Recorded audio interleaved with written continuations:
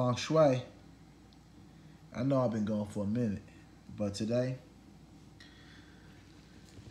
I bought my girl watch. So I wanted to show everybody this Datejust. This is a 31 millimeter.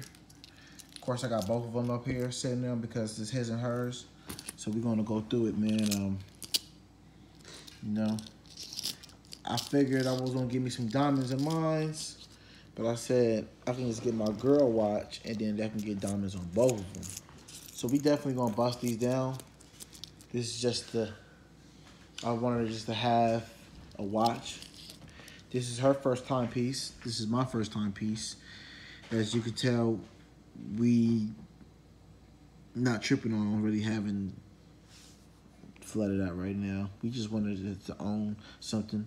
Uh, Rolex has always been a staple in the ghetto community. And it's a status symbol of uh, success. And um, definitely my girl is shining with this watch. I mean, the Jubilee bracelet is fucking shining like crazy.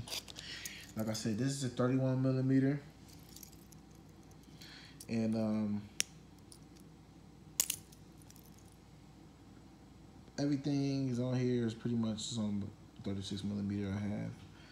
Um, I want to get a bigger face, uh, but I'm gonna wait till I get me the all gold one before I get me a bigger face. And um, it looks good in the arm. I'm gonna put this in your arm. Show show YouTube how it's looking on my girl arm here. And y'all know how already it looks on my arm already because I always, you know, always got it on in my videos. But today is not about me. It's about uh, it's about my girl.